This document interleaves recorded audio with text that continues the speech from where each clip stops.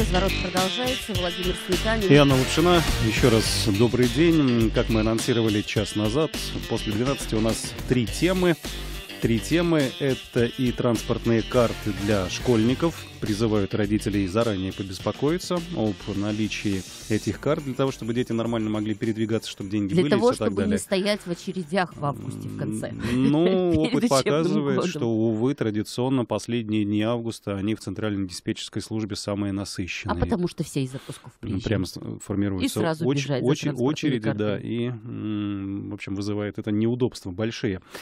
Попросим прокомментировать также во втором части профессионального юриста Яна Чеботарева м, приговора бывшему зампредседателю правительства Кировской области Андрею Плитко, 11 лет строгого режима, за махинации, И мягко штраф, говоря, 20, по-моему, 5, да, миллионов? 25 миллионов рублей, да, за махинации в лесной сфере. Ну и тема, с которой сейчас начнем второй час, Это ковид. распространение коронавирусной инфекции. Посмотрела я статистику последнюю на сайте Роспотребнадзора нашего. 53 человека выявлено за а, а, последние сутки а, с этим диагнозом. Вчера было 50, а неделю две назад было по 39, там 30-39, вот где-то так. То есть все-таки по чуть-чуть, понемногу подрастает количество заболевших. Вот. Ну, Насколько давай нам- это давай напомним. тревожный Да, симптом? давай напомним, для сравнения у нас пиковые значения в разгар пандемии Ой, что там было доходило по до 300 и, 300, и даже и- и больше, более по-моему, человек, за сутки у нас Да. были с выявленным ковидом. Сейчас пообщаемся с Любовью Басарыгиной, э, начальником отдела эпидемиологического надзора управления Роспотребнадзора по Кировской области. Любовь Александровна, здравствуйте. Здравствуйте. Добрый день. Вот настораживать нас должно, должно вот это вот изменение цифры, пока вроде не очень большое на территории региона, да, там 53 человека, я смотрю, э, статистика э, за сегодняшний день, то есть это вчерашние, наверное, да, цифры получается. А до этого было 50, а две недели назад было 39, то есть подрастает вот так вот, да, количество заболевших. Ну да, на данный момент мы уже на протяжении четырех недель регистрируем рост заболеваемости а, новой коронавирусной а, инфекции на территории области. В принципе, эта тенденция, она у нас, а не только у нас в области, это а, по всей Российской Федерации а, рост заболеваемости новой коронавирусной инфекции наблюдается. А нас- можем мы сейчас, простите, что перебиваем, можем мы сейчас сразу пояснить э, вот наи- наи- наибольшие такие явные очаги распространения коронавируса у нас в регионе? Это районы, это областной центр. В основном рост заболеваемости у нас, э, мы, э, скажем так, наблюдаем в областном центре. Мгм. И это вполне понятно, поскольку здесь у нас все-таки плотность населения выше, а, больше контактов. Но Мгм. в основном а, это идут э, семейные очаги, Так. то есть как э, таковых а, по а, организациям а, мы вспышек не видим. То есть это семейные очаги. В основном заражение идет внутри семьи. Дома, да? Кто-то откуда-то принес. Да. Но это, это, видимо, один из факторов, большая плотность населения. А что еще влияет на увеличение этих цифр, показателей? Ну, у нас, э, если считать именно коронавирусную Мгм. инфекцию смотреть, то здесь, конечно, влияет и то, что у нас а, люди активно ездили а, в июне в отпуска, соответственно, они а, привезли оттуда инфекцию и пошло распространение. Но сезонность, то есть мы все-таки с вами Мгм. потихонечку подходим к осеннему периоду, к сезону, поэтому а, рост заболеваемости по коронавирусной инфекции он вполне, а, скажем так, предсказуем. И э, федеральная служба э, Роспотребнадзора, она, э, в принципе, везде э, и на сайтах везде размещалась информация, что мы предполагали а, рост заболеваемости именно э, в конце июля, в начале августа этого Мгм. года. В общем, те, кто еще отпуск, как говорится, не отгулял и собирается сейчас вот в августе куда-то еще поехать, то есть также можно дать рекомендации да, людям о том, что будьте внимательны, Будьте осторожны. да. можно, можно заразиться, можно приехать э, с коронавирусом, заразить близких. Да, существует такая вероятность. Ну, такая вероятность Мгм. есть везде, особенно, ну, если выезжаем, скажем так, за границу, выезжаем в другой регион, там, по- понятно, а, эти риски выше, но если соблюдать элементарные правила безопасности, а, например, если использовать маску, да, при перелете в самолете, а, поскольку очень часто именно бывает, что контакты бывают по самолетам, либо по поезду, либо в незнакомых местах использовать маску, где-то массовые какие-то выходы, да, и использовать антисептики. Если человек привитой, то, конечно, здесь э, риск заражения а, намного ниже, чем у людей, которые не соблюдают эти правила элементарные. Любовь Александровна, вот мы сказали э, эту цифру да, с вашего сайта, 53 э, случая заболевших за э, прошедшие сутки. А вот можем как-то разделить, дети вообще сейчас заражаются или нет? Потому что вот э, в свое время, когда была волна достаточно серьезная, говорили, что дети в основном приносят, ну, из учреждений детских каких-то, то есть либо школы, либо там еще где-то между собой общаясь, да? Вот сейчас лето, каникулы, то есть вроде как дети друг от друга изолированы, либо на свежем воздухе бегают много. Есть случаи заражения среди детей? Ну, конечно, случаи заражения среди детей есть, и угу. еще раз повторюсь, это именно из домашних очагов. Угу. Но а, рост среди заболеваемости среди, детского, среди детского населения, он не настолько на данный момент интенсивны, как среди э, взрослого населения, и это связано именно с тем, что на данный момент у нас а, большинство а, образовательных учреждений, это школы и институты, скажем так, не работают. Угу. У нас э, в детских садах э, есть, скажем так, перерывы, да, где детские сады некоторые июнь не работали, некоторые июль не работали, дети находились дома. Конечно, поэтому пока среди детского населения мы роста заболеваемости, большого роста заболеваемости не наблюдаем наблюдаем, но э, дети болеют. А, мы предполагаем э, рост заболеваемости среди детского населения. Это в сентябре, э, когда у нас сформируется Классы, когда начнется учебный группы. Да, классы, угу. да, дети начнут угу. учиться, и здесь, конечно, контакт между ними будет намного выше. Но можно вообще как-то предсказать, каким образом будет развиваться ситуация, ну вот исходя из нынешних значений, да, это будет как там год назад, два года назад, или это все-таки будет менее э, там тревожная история? У нас э, с каждым, э, скажем так, э, с каждой новой волной угу. люди болеют легче, а, и, соответственно, их меньше госпитализируется.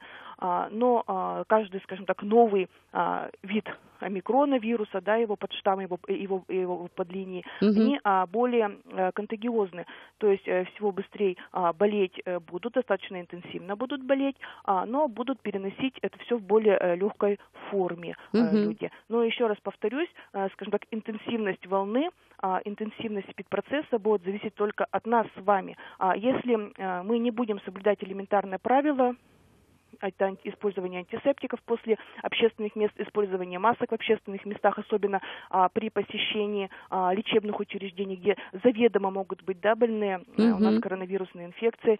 А, если мы не будем прививаться, ну, пренебрегать этими элементарными а, вещами, а, соответственно, мы а, получим более интенсивный а, процесс и более высокую заболеваемость. Я, честно говоря, вот сейчас задумалась и поняла, что я человека в маске в общественном месте практически не видел. То есть я вот в поликлинике иногда наблюдаю. В последнее время, в последние месяцы? Да, да, да. Но и то там э, считанные единицы, собственно говоря, в поликлинике в маске сидят сейчас. А, а в общественных-то местах, в магазинах, э, еще где-то я вообще, не знаю, там несколько месяцев уже, наверное, никого в маске не видела. Продавцы разве что только. Ну, я наблюдаю. Еди... Единицы да? это, как правило, женщина такого угу. уже пожилой, серебряного, пож... возраста. серебряного возраста, да, вот женщины в возрасте, они продолжают пользоваться масками. Ну и видя эту картину, ты прекрасно понимаешь, что ослаблять э, бдительность нельзя. И угу. на... у нас есть вот, например, дома да, запас масок, который сохранился а вы используете? С первой, со второй, там, с третьей волны, да. И я так периодически хожу, смотрю, ну, я в сумке с грустью, с, грустью так начинаю осознавать, что наступит вполне возможно в ближайшее время период, когда снова придется пользоваться масками. Когда да, надо будет активно. достать их из шкафа. Да. А, а Еще вопрос, да, Любовь Александровна, скажите, раз уж мы заговорили о непосредственно вирусе, вот то, тот, тот штамм, которым болели, болела основная часть россиян, жителей нашего региона некоторое время назад, это то же самое сейчас приходит? То есть это омикрон все-таки, Омикрон да? тот же самый. Да, у нас омикрон, а, но другой вариант. То есть если у нас а, вот волну марта, февраль мы наблюдали, у нас был омикрон BA2, а, так называемый стелс-омикрон, то сейчас у нас уже практически а, на территории Кировской области по результатам а, секвенирования генома вируса COVID-19 а, в структуре возбудителя доминируют варианты микрона BA4, BA5, Боже, а, доля которых за а, последнюю неделю у нас выросла практически до 90% от всех а, проб, которые мы направляем в научно-исследовательские институты для проведения этого секвенирования. Uh-huh. А, данный вариант, он от BA2 э, отличается а, более высокой контагиозностью, но То есть более, более заразный легким, он, да? Да, более заразный, угу. но а, протекает, а, скажем так, более легким клиническим течением. Ну, собственно, вот это то, о чем в свое время, когда ковид только начинался и был в разгаре, говорили эксперты, да, что он Да. будет каким-то образом мутировать и именно вот в эту сторону. То есть он будет а, заразным, но при этом э, достаточно легко люди его будут Ну, переносить. приближаться к ОРЗ, да, там, Ну, как-то то, что, так. что называется, Как-то так. простуда. Но Ну да, расслабляться- это естественный для вируса процесс, и об этом с самого начала эксперты говорили, и, в принципе, к этому потихонечку мы приходим. Понятно. Но расслабляться все равно нельзя. Лечи- лечение разновидностей этой, оно то же Оно, самое? мне или кажется, что или это не- профилактика? Не знаю. Про профилактику вот мы сейчас поговорим, Ага. может быть. Я хотела спросить еще про отпуска и про ПЦРки, потому что мне кажется, это важно. То есть мы тут расслабились, и с масками расслабились, и с ограничительными меропри- мероприятиями вроде нет уже ничего, да? А люди уезжают в отпуска и не совсем вообще понимают, а вот им, возвращаясь из отпусков, надо куда-то там идти и кому-то рассказывать, что я куда-то съездил. Есть у нас какие-то сейчас правила, которые что-то предписывают делать? Ну, конечно, у нас с вами э, действует постановление главного государственного санитарного врача Российской Федерации а, номер 7, которое определено а, вот именно, а, скажем так, действия, которые должны у нас э, предпринять люди, которые возвращаются из отпусков.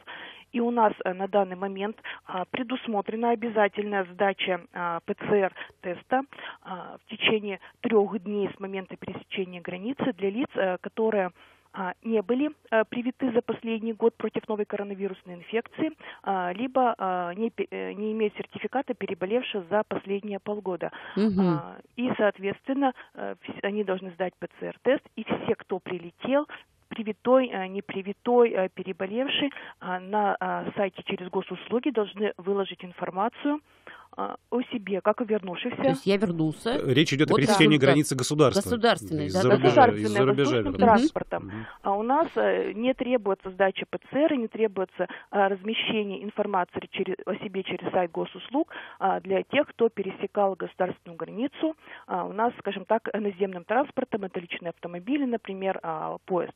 А все остальные, это пересечение воздушной границы у нас в основном с вами, а, по прилету должны э, либо сдать ПЦР, если не привитые, не переболели, и Ага. разместить информацию на госуслугах. Так, Любовь Александровна, вот сейчас это важно в связи с тем, что у нас прямого авиасообщения со многими курортными э, зонами э, нет. Люди выезжают, бывает, ну, сейчас открыли сухопутные границы в Европу, куда-то там северная э, Европа, Финляндия, Прибалтика, и летят уже оттуда.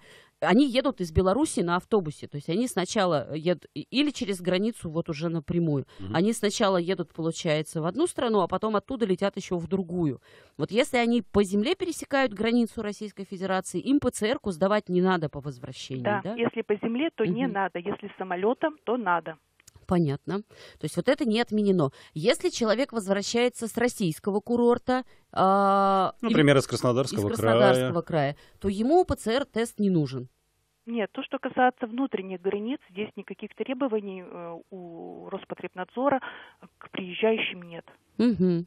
Ну, Ну, или пока нет. Все будет если- зависеть да, от того, как да, обстановки. ситуация. да. Но если человек приехал и внезапно почувствовал себя не очень хорошо, то, наверное, он должен уйти на самоизоляцию, да? Если человек приехал и почувствовал себя не очень хорошо, то он первым делом должен сразу обратиться к врачу, потому что у нас, э, скажем так, э, признаки ОРВИ, которые первоначально не Мгм. могут быть не только у нас а, говорить о том, что человек заболел ковид, еще есть много заболеваний, которые начинаются именно как ОРВИ. И здесь правильно дифференцировать а, и э, назначить лечение может только а, врач э, медицинского организации. Поэтому ни в коем случае нельзя заниматься самолечением, необходимо сразу обращаться в лечебную сеть Мгм. профессионалам. Мгм. И уж тем более, если речь идет о детях. Да. Да. Конечно. Есть ли какие-то сейчас ограничительные меры? Еще что-то сохранилось у нас, что действует э, применительно к ковиду для граждан России? Нормы какие-то, которые сейчас все еще нужно соблюдать? Ну вот то, что, о чем мы говорили, это у нас э, санитарными правилами а, по профилактике новой коронавирусной инфекции, которая 2020 года у нас действует. У нас на данный момент остаются а, действующим, во-первых, мы контролируем а, своевременность э, выявления заболевших лиц Мгм. и их изоляцию, то есть больные у нас все-таки должны изолироваться, а, либо по месту жительства соблюдать изоляцию, а, либо в стационаре. А, Мы э, дальше наблюдаем а, за соблюдением масочного режима это в лечебных учреждениях, а, в, социально, э, в учреждениях социального обслуживания.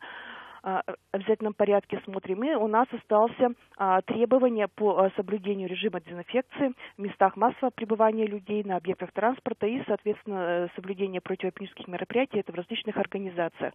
Как к таковым, к самим людям, просто гражданам у нас э, основные меры это ну, рекомендательного характера, в том числе и маски. Соблюдать То есть все, все, все, все по желанию, по усмотрению самого человека, да, пока. Если он изъявит желание ту же маску надеть, угу. заходя в магазин, например, то это сугубо его право. Ну и вакцинация у нас сейчас, насколько я понимаю, обязательно отменена. Но вот я хотела вообще спросить, а сейчас э, есть смысл вакцинироваться, э, если такое вот ну, невысокое количество заболевших? Вакцинироваться, вакцинироваться либо ревакцинироваться. в любом случае смысл, потому что а, именно, а, скажем так, иммунная прослойка, то есть количество переболевших и количество привитых, чем она выше, угу. тем ниже заболеваемость. То есть э, э, что мы, в принципе, с вами видели и весной, когда мы ноябрь, декабрь, э, январь, э, у нас иммунная прослойка интенсивно нарастала, то есть угу. основные, скажем так, категории граждан, у которых был был ну, наибольший да, контакт, э, риск э, контакта с больными ковидом а, у нас были привиты, и когда мы достигли определенного уровня, а, с середины марта мы получили снижение заболеваемости. То есть чем выше иммунная прослойка, тем, скажем так, а, ниже возможности вируса. Да, но вот смотрите... И, соответственно, как ага. только иммунная прослойка снижается, мы можем получить а, рост заболеваемости. Поэтому, вот, на мой взгляд, сейчас, наверное, оптимальная а, период для того, что кто хочет привиться, сходите привиться, а, потому что пока заболеваемость не такая высокая, то есть меньше риск э, Подхва- подхватить что-то да, на, на ослабленной прививкой. И, да, соответственно, иммунитет. у нас mm-hmm. с сентября начинается с вами еще прививочная кампания а, против гриппа, и, например, кто прививаться против гриппа, а, постоянно, наверное, вот в августе было бы оптимально привиться против ковида, а, в сентябре уже сходить привиться а, против а, новой коронавирусной инфекции. Ой, против, против гриппа. Против да. гриппа. Ну, вот, сейчас от ковида, да, а потом от гриппа. Я хотел задать этот конкретный вопрос, но Любовь Александровна, видимо, уже на него ответила. Просто я хотел, ну так вот, для примера, например, человек не прививался, ну, примерно год назад он переболел ковидом, вот угу. сейчас бы ему и, собственно, привиться-то, привиться. привиться-то бы ему сейчас не мешало бы, да, получается? Конечно, понимаете, прививка, она, конечно, не э, защищает на 100% угу. а, от, этого, от вируса, от того, что заболеешь, но она а, на порядок снижает риски получить именно а, осложнение от новой коронавирусной инфекции и, э, соответственно, э, привитой человек по статистике намного легче а, переносит э, заболевание, если он заболевает, а, чем не привитой человек. Я вот сейчас понимаю так, что люди нас слушают э, и слышали перед этим, как мы говорили, что заболевание протекает в более легкой форме, чем дельта, например, да, омикрон, и они думают, ну я же и так легко переболею, зачем мне прививаться? Вот. Но это ну, всего лишь... понимаете, ведь мало да. того, что переболеть э, лег... Э, можно легко, но у нас вот есть а, так называемый постковидный синдром, да. когда какие-то последствия возникают уже вроде бы человек, который выздоровел. И именно вакцинация, она направлена на то, чтобы снизить э, вот количество тяжелых случаев и, соответственно, последствия новой коронавирусной Для организма. Конечно.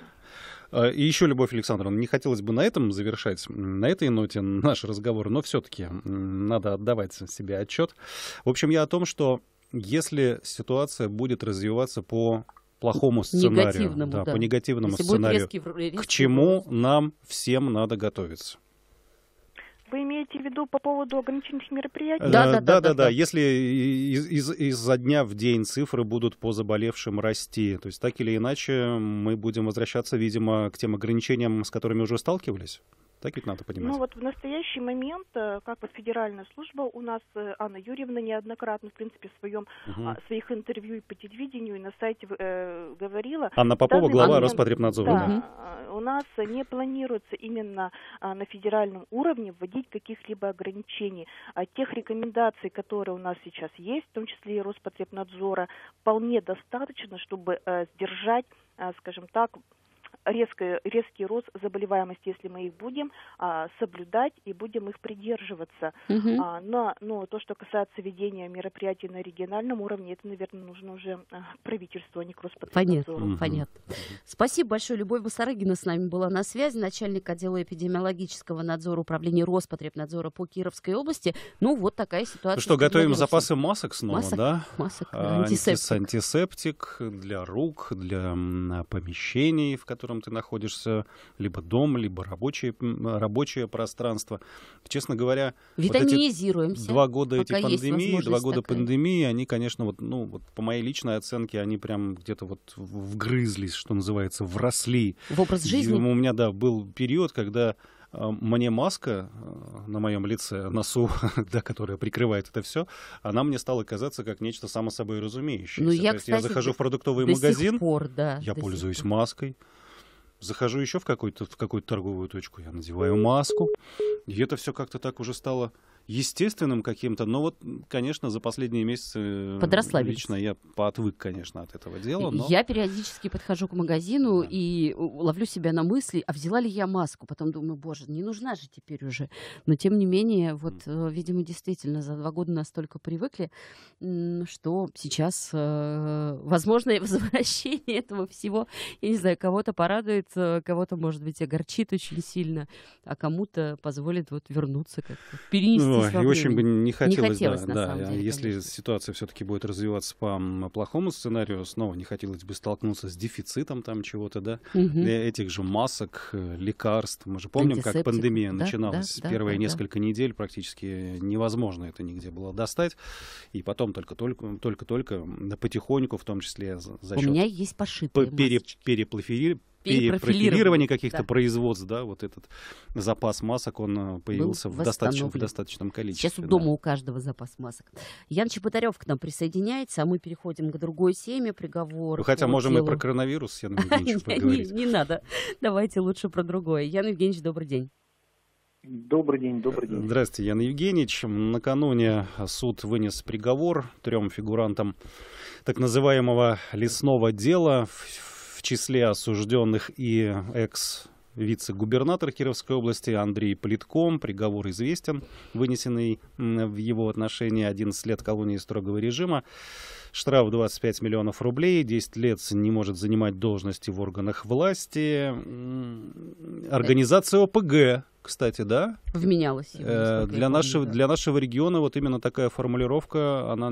Что-то как-то прямо жестковато. Не часто встречается. Слушай, это ощущение, что откуда-то из 90-х просто формулировка к нам приехала. Вы насколько были удивлены или не удивлены вот именно таким решением суда? То, что это же... Да, в целом, в целом не был я удивлен. Угу. Исходя из объема обвинения господину Плитко рассчитывать на то, что срок наказания будет не столь значителен, ну, мне представлялось излишне самонадеянным. Э, несколько, больше десятка эпизодов взяток, которые суд посчитал доказанным, э, причем сумма исчисляется взяток миллионами рублей. Там где-то несколько сотен тысяч, тысяч да, где-то миллионов. Угу. Естественно, еще и суд точно так же учел и непризнание вины. Э, именно тем, что два подельника господина Плитко раскаялись в содеянном, дали изобличающие показания, я могу объяснить то, что они получили гораздо более мягкие э, сроки. Ну там 4, 4 года то, и 3, 3,5. Не, угу применил дополнительный вид наказания в виде штрафа, тоже, на мой взгляд, объясняется именно этим. А вот этот, кстати, запрет на занятие должности в органах власти, он начинает действовать э, с момента вот вынесения приговора или он начнет действовать с момента освобождения, освобождения потом уже спустя вот эти годы? Да нет, конечно. Нет? Дополнительное наказание исполняется после отбытия основного наказания. А, угу. Соответственно, когда господин Плитко освободится из мест лишения свободы, вот тогда на протяжении 10 лет он не сможет э, занимать э, должности в властных структурах. Хотя, честно говоря, что-то мне подсказывает, что даже если бы суд не назначил такой дополнительный вид э, наказания, то вряд ли бы он когда бы то ни было смог получить какое-то кресло.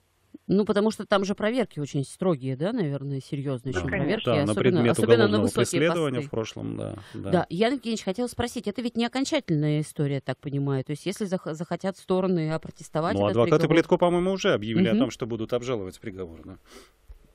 Ну, судя по тем материалам, что видел я, в частности, по ГТРК показывали, господин Плетко прямо сказал, что приговор будет обжалован, он с ним не согласен. Соответственно, я думаю, что э, жалоба будет подана угу. и рассмотрена будет, я думаю, где-нибудь уже в сентябре месяце.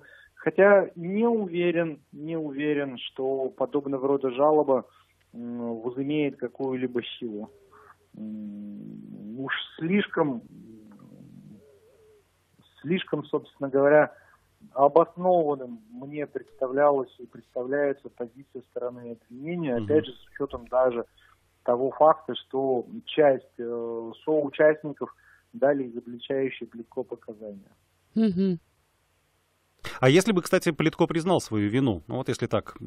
Теоретически. Теоретически, то, очевидно, срок бы был меньше, да? Он мог надеяться, да, ну, я думаю, что да, не могу сказать, что намного, но тем не менее э, пример э, двух остальных подсудимых, он показателен, они получили кратно меньше, чем господин Плитко. Угу. Именно потому, что они чистосердечно раскаялись, дали э, правдивые показания и фактически таким образом попытались как-то компенсировать тот вред обществу, который причинили. То есть, естественно, если бы Плитко признался, наказание было бы назначено помягче. Угу. Хотя, на мой взгляд, э, в любом случае здесь бы шла речь о реальном лишении свободы, потому что это особо тяжкие статьи, причем это множественные составы, это на самом деле преступная деятельность организованной группой на протяжении длительного времени. Это весьма тяжелое преступление, особо тяжкое. Именно поэтому, кстати, и назначено ему отбывание наказания в исправительной колонии строгого режима. Угу. А, кстати, Яна Евгеньевич, ну так, чтобы по-человечески как-то понять, у нас для бывших высокопоставленных чиновников потом в системе УФСИН нет каких-то особых преференций, не знаю, особых камер, они на, на, общих, основаниях. на общих основаниях, да, ведь отбывают ответственность потом? Ну, конечно, да. пример Никиты Юрьевича Белых э, показателен. Э, он отбывает наказание вместе со всеми. Да, у него был эпизод, когда он э, работал в библиотеке. Библиотеке, да. Интеллектуа- интеллектуальный труд такой был там, да, с э, большим комфортом, чем надлежит, но это было пресечено при первой же проверке. И, соответственно, всех этих э, благ он мгновенно лишился. Более чем уверен, что и начальство, которое должно было контролировать режим отбывания осужденным наказание, ну, точно так же было привлечено к дисциплинарной ответственности. Нет, по закону у нас все равны. Угу. Ну, кстати, процесс над Сплитко и его подельниками, да, как вы сказали, Ян Евгеньевич, длился довольно долго. В апреле 2020 года ведь еще было задержание, это, собственно, да, больше двух, двух, двух, двух лет. больше двух лет прошло. Ну, это как бы стандартная практика. Да, это, видимо, это, видимо, это, видимо, связано как раз вот с, с множественностью фактов, да, непосредственно эпизодов этих взяток. Ну, безусловно, плюс не забывайте, коллеги, что ведь э, в этот же срок входит еще и предварительное следствие. То есть э, не сразу же по задержанию господина Плетко дело ушло в суд, правда? Uh-huh. Значит, какое-то время потребовалось э, для следователя, для того, чтобы разобраться в существе дела, чтобы опросить э, всех фигурантов, провести экспертизы, собрать доказательства, документально их закрепить, дальше передать дело в прокуратуру и в последующем в суд. Ну и суд точно так же связан процессуальными нормами, он обязан вызвать, допросить всех свидетелей, исследовать каждый лист э, уголовного дела, ну и изложить все свои суждения в приговоре. Сам по себе факт того, что приговор оглашался в течение нескольких дней, говорит об объеме информации, которая судом была проанализирована. Поэтому здесь я бы ну, не удивлялся применительно к срокам что предварительного следствия, что судебного процесса. Тем более, что все подобного рода сроки, в течение которых подсудимые находились под домашним арестом, ну, они будут учтены при э, отбытии ими наказания э, как два дня домашнего ареста угу. за один день э, лишения свободы. Угу, угу. А при каких условиях осужденные смогут претендовать на условно-досрочное? Условно так, напомним общее правило. Две трети, да? Ну, здесь э, речь идет о том, что до того, как э, ходатайствовать об условно-досрочном освобождении от отбывания наказания при э, преступлении, которое является особо, особо тяжким, тяжким. Ага. осужденный должен отбыть определенный срок, который в данном случае составляет не менее двух третей от назначенного срока наказания, плюс он должен а, не иметь никаких дисциплинарных взысканий, за период отбывания наказания, угу. э, с тем, чтобы показать, что он твердо встал на путь исправления. Ну и э, крайне желательно хотя бы частично компенсировать э, причиненный ущерб, либо оплатить назначенный штраф. штраф. Да, Ян Евгеньевич, у меня э, просьба к вам. Мы сейчас должны по регламенту убегать на рекламу. Вы можете не отключаться и подождать несколько минут, мы с вами еще продолжим. Минутку буквально. Хорошо. Спасибо. Хорошо, Давайте, реклама. Ян Чеботарев с нами на связи. Продолжаем обсуждать э, приговор, вынесенный накануне по так называемому лесному делу. Андрей Плетко, Андрей Туев и Алексей Шнурцев э, приговорены к 11, 4 и 3,5 годам лишения свободы. Строгого режима все. Да, в колонии строгого режима. Я сейчас задался вопросом, вот он, Киров лес-то, да? Кировский лес. Слушайте, это просто какая-то а, дыра черная, которая и, засасывает И, заблудиться и в нем легко, и свернуть, и свернуть с законного жизненного пути тоже а, получается несложно, да? Да, Ян Евгеньевич а, Чеботарев с нами на связи. Юрист, я хотела у Яна Евгеньевича спросить еще вот что. Мы после приговора Никите Юрьевичу, по-моему, это обсуждали, еще через несколько там месяцев были другие другие приговоры, мы тоже это обсуждали. Почему э, вот такие суровые приговоры ничему не учат последователей, скажем так? Ого, какой Интересный вопрос. Ну, ну да, давайте я помогу. Ну, я, да. я предлагаю уже какую-то в правительстве области что? доску почета, что ли, не знаю, в кавычках оформить, чтобы каждый... Зачем? Кто а, приходит а, туда работать, видел. Вот смотри, ты Плитко думаешь, не знают этого, сел, сел за то-то. Вот смотри, этот раньше здесь работал, сел за то-то. Может быть, это будет вот эта нагляд, наглядность, она каким-то образом скажется. Ну, может быть, конечно, но во всяком случае, смотрите, э, студентам-юристам на, на втором-третьем курсе э, юридического института преподает такой предмет, который называется криминология. Угу. Не криминалистика, а криминология. Да, и как разница? раз э, нас учат чему? О том, что каждый преступник рассчитывает, что вот именно он не попадется? и сумеет избежать наказания. Поэтому здесь э, вопрос, который, коллеги, вы ставите, он отчасти риторический, он давным-давно уже нашел свое разрешение в юридической науке. И, и можно, ну, конечно, попенять, может, место не то какое-то, может быть, условия работы не совсем правильные, а может быть контроль за деятельностью наших чиновников, которые занимаются э, лесной отраслью слабоват, что, на мой взгляд, наиболее вероятно.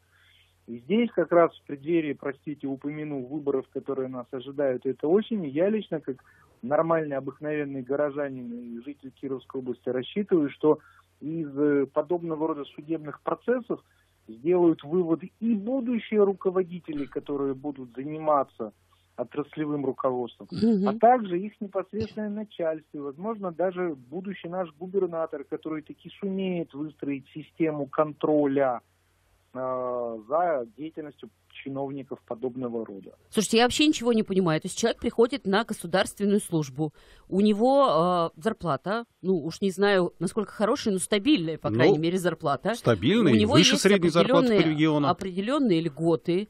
Э, еще этого человека надо контролировать. А его ведь еще перед этим, перед назначением-то, наверное, какие-то службы проверяют, э, э, смотрят там его биографию, нет ли у человека каких-то там моментов, когда можно сказать, что вот тут он был нечестен там или еще что-то. Угу, угу. Как так-то?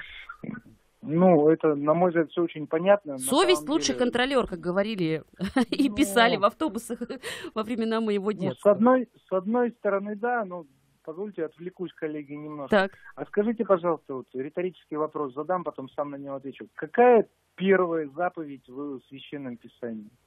Не укради. Вот как вы думаете? Да ничего подобного. Нет? Все начинают, когда задаешь этот вопрос, э, вспоминать Нагорную проповедь. Это так-то Новый Завет. А первая заповедь в Священном Писании находится в Ветхом Завете. И она звучит следующим образом. «Не искушай ближнего своего без нужды». А, угу. вот, если чиновник, пусть даже хороший, это не я придумал, а не на самом деле. Значит, если даже очень хороший чиновник попадает в ситуацию, за которым, э, при, при которой за ним нет постоянного, неослабевающего контроля, вот мы получаем то, что мы получаем. Мы сами таким образом, не контролируя деятельность чиновников, создаем ситуацию, при которой они начинают вот нарушать закон таким образом. Мне кажется, работа... Слава Богу. Да. Ян Евгеньевич, ну, мне кажется, работа, вот... работа чиновника изначально это одно большое искушение. Ну, возможно, вот, возможно, но тем не менее, если так. этот же чиновник, э, человек же слаб, если этот чиновник будет знать о том, что за ним приглядывают, его деятельность контролируют, э, что его управленческие решения перепроверяют, пусть даже выборочно, ну, он будет, ему будет легче сдерживать себя в рамках законности. На мой взгляд, построение системы контроля является очень важной задачей. Я не знаю на самом деле, мне бы очень хотелось это узнать. А каким образом выстроена ныне существующая система контроля за этой же лесной отраслью, за теми решениями, которые принимались и принимаются в настоящий момент? Понятно. Кто это контролирует? Если это все замыкается на какого-то отдельного вице-губернатора, и, и все. И это мало. Его, это мало. Естественно. Как раз это и создает э, предпосылки для подобного рода коррупционных преступлений.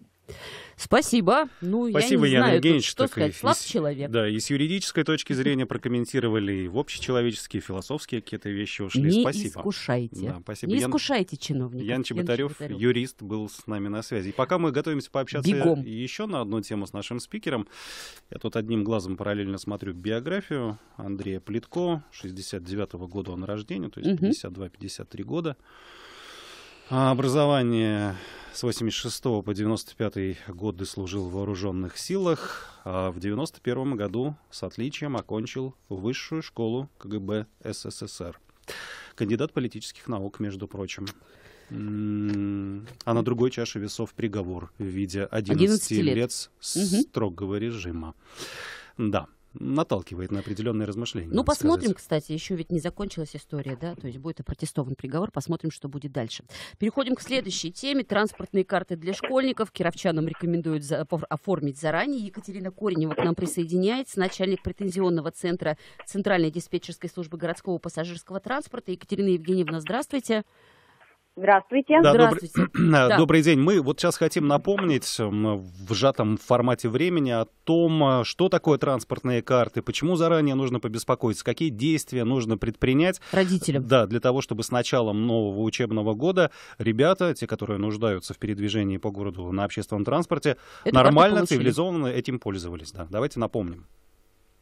А, транспортные карты предназначены не только для школьников, не только для а, оплаты проезда в транспорте, но и для оплаты безналичной э, школьного питания. питания. Ну да, уж, ну, простите, школьных просто... столовых, да. Да, да. да, и в частности, больше для этого э, мы э, рекомендуем родителям школьников заранее обратиться к нам и получить транспортные карты, так как перед началом учебного года на них традиционно ожидается повышенный спрос. А, поэтому чтобы не стоять в, очередя... угу. в очередях, э, лучше подойти заранее, в течение всего лета. Пожалуйста, мы работаем, подходите и оформляйте. Но, увы, мы понимаем, Заявку да, подать что можно только лично придя, время... или можно это как-то электронно сделать где-то? Нет, телефону? оформляем, карточка оформляется персонально, э, подходит законный представитель школьника так. с паспортом. Так. А если в паспорте ребенок не, не вписан, то берет с собой свидетельство о рождении. Угу. И для тех, кто получает карточку вообще впервые, э, справочку из школы еще нужно предоставить. Понятно. Что обучается действительно. Да, что ребенок да. да, что, что он зачислен да, в эту школу, угу. что он обучается. Угу. Да.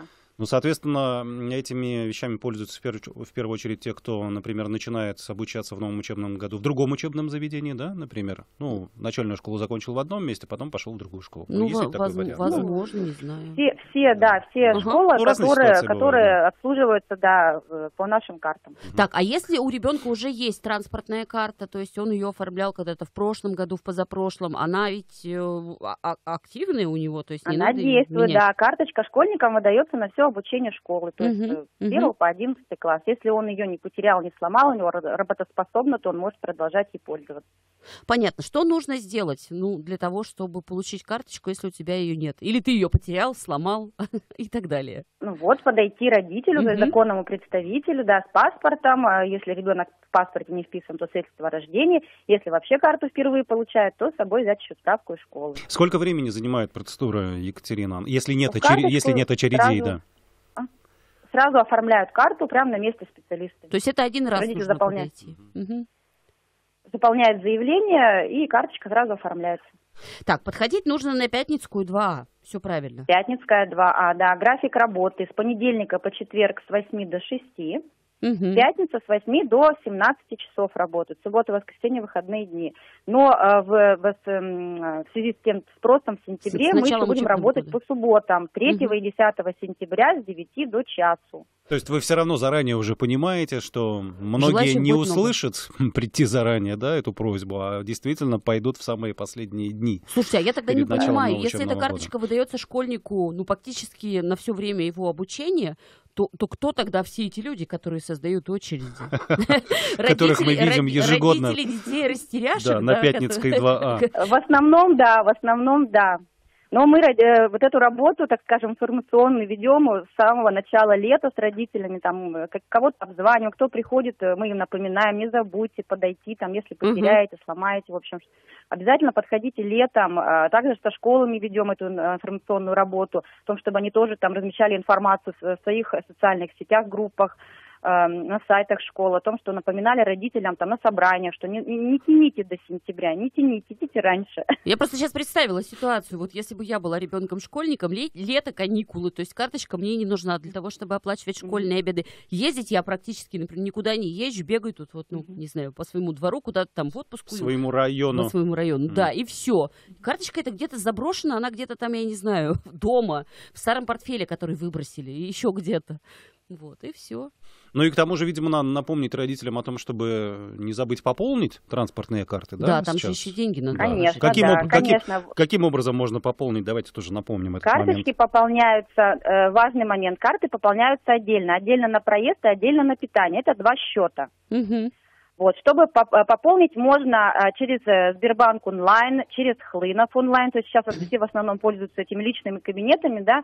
Также можно пополнить через систему быстрых платежей, uh-huh. сканировать QR-код. Он есть в нашей группе ВКонтакте, на нашем сайте в ЦДС тоже он есть. То есть если вот сканируешь и переходишь на сайт, и там можно выбрать пополнение школьного питания, либо, либо проезда. А, также можно пополнить э, контактно через терминалы банка Хлынов, э, ну и через э, терминалы банка Сбербанка. Угу. Понятно. Да, то есть в отделениях, например, да. Этого достаточно или, возможно, в ближайшее время будет расширена возможность пополнения карты? Но ну, на данный момент... Э, Или достаточно, достаточно. да? То есть и онлайн-банкинг, да, и банкомат непосредственно можно подойти. И терминал, да. Система быстрых платежей mm уже вот у нас э, второй год работает, то есть можно, если любой банк mm поддерживает, так скажем, эту, ну, практически все банки, можно оплачивать mm таким образом. Спасибо. Екатерина Корнева, начальник претензионного центра Центральной диспетчерской службы городского пассажирского транспорта с нами была на связи. Еще раз родителей призываем а, не затягивать до последней недели. Понятно, что все сейчас бегают, уже закупая тетрадки, формы и все остальное, но вот это тоже лучше сделать заранее. А каким счастливым родителем я сейчас себя ощущаю, да? потому что школа, в которую ходит мой старший ребенок, она находится... Рядом с домом. В 20 метрах от, Понятно. от дома. То есть Все, убегаем. Звукорежиссер выгоняет нас из студии. Дневной разворот заканчиваем. До свидания.